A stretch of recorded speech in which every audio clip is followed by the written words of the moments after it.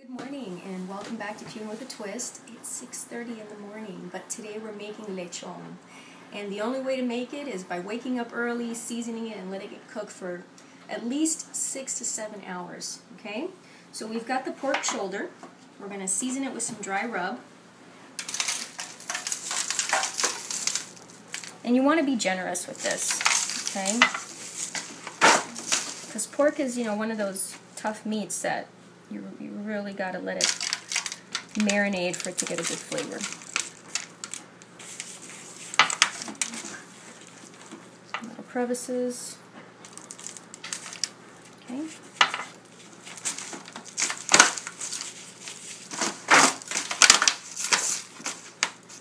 And I'm going to place it in the slow cooker with the fat up. Now this one doesn't have a lot of fat, but the fat that it does have, you can see is running through the middle of it. We're going to put that up so that when it starts melting, it'll go down and keep the meat moist. Okay, we're going to take our gloves off. Put this aside. And we're going to just use some natural seasonings. Some fresh garlic, fresh basil, two shallots, an orange, and a lemon. Okay, so I've already chopped up the garlic. And I'm going to place it over it, try to squeeze it into any little crevices you see so that it, it'll stay in the meat while it's cooking. Okay, a little bit more.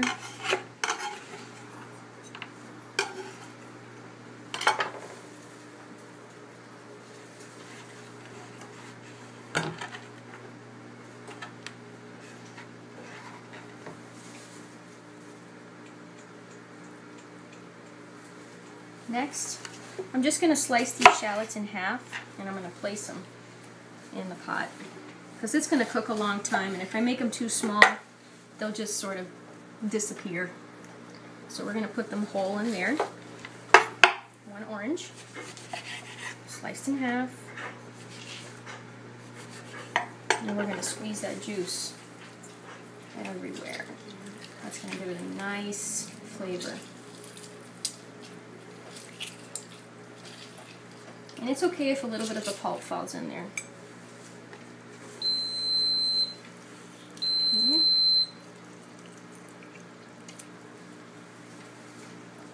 Right, your lemon. Same concept. Squeeze it all around.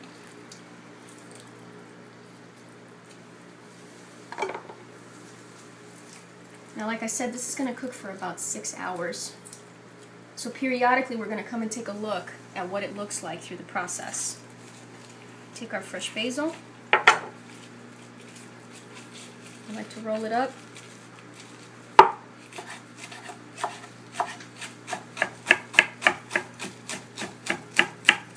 Okay.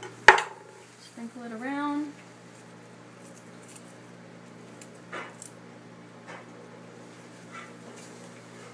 Let me rinse my hands real quick.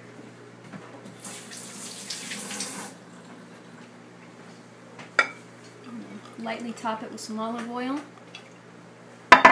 and a little bit of left of the seasoning. Just gonna kind of cup a little bit on the shallots, lightly coat it. This is how we start off. Throughout the day, we'll take a look at it, and I'll see you then. We're back. It's been about four hours or so, and we're going to take a look at where we're at. Just pull that off. Well, it looks good, but we have to do the fork test. Okay? Oh, see how it takes? It's hard to get in, hard to get out. Okay, that's not anywhere near being ready. So what we're going to do is we're going to take some of the juices, and this is just the fat um, that the pork has created, and we're going to use that. It's got all of that seasoning in it. We're going to cover it.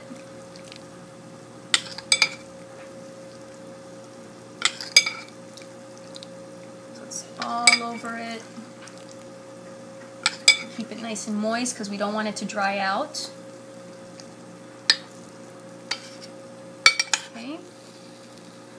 Excellent. We're going to cover it up, and it's probably going to need a good two and a half to three hours more. Now the last part of the pork shoulder, the lechon, we're going to do in the oven.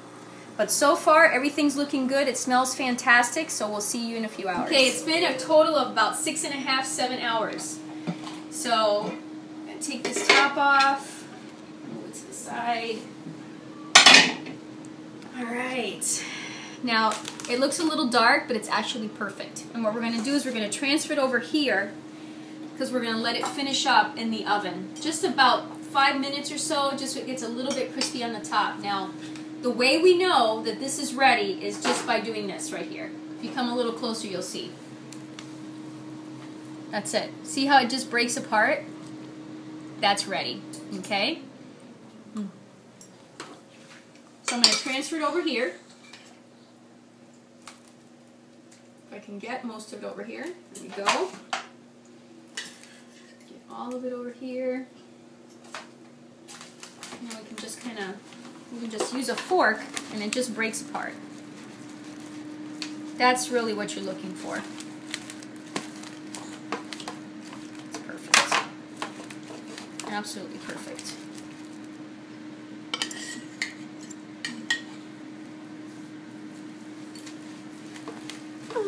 Again, just breaks apart with a fork. There we go. Now, there's going to be a lot of the stock left. And this is great stuff. Okay. I'm going to use a little bit. We're going to cover it.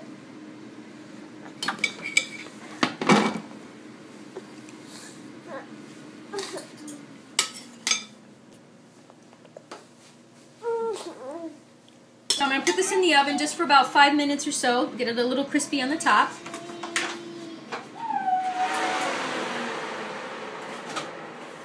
Here we go. And what we're also going to do is I'm going to serve it two different ways. I'm going to serve it one over rice with a little avocado, but I'm also going to make it the way I used to eat it when I was a kid.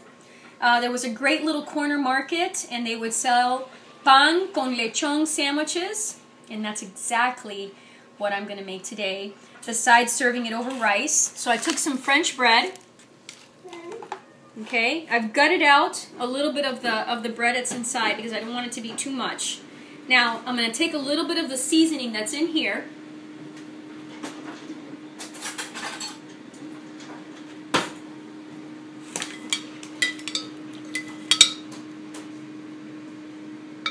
Okay, and I'm just going to use it to season the bread. Okay.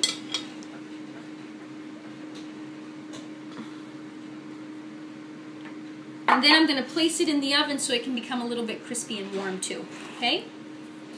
The great thing about this dish is that you can start it in the morning, leave it cooking all day in your slow cooker, and have a great meal to share with your family in the evening when you come home from work. Okay? Here it is with some rice and some aguacate. And here we have it in, in the traditional Spanish sandwich.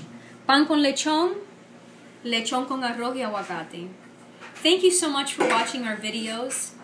Follow us on Twitter, like us on Facebook, and watch us on syndicatednews.net. Thank you again and have a great night.